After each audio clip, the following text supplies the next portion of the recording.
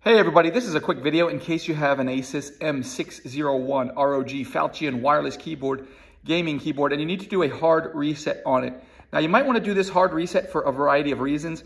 If the keyboard is not connecting or not syncing to your computer or to your device, or if it's not responding or if it's just not working right, um, it's lagging. It's a, this is a good uh, uh, troubleshooting step to do. Um, also, if you just want to set it up on a new computer, it can be useful to just do this hard reset to restore the factory default settings and get started anew. I mean, it's pretty simple to do, so you will need to set this up again if you do it. But if you're ready to do that, um, we can go ahead and I'll show you how to do it. Um, all you need to do is, first of all, you want to have the keyboard connected to the computer, and then you're going to come in and you're going to find the caps key, which it actually, if you see, it actually says reset on the side of the key. And then you're gonna come over and find the function key. And so what happens is you're gonna press the function key and the caps key together and hold it for three seconds.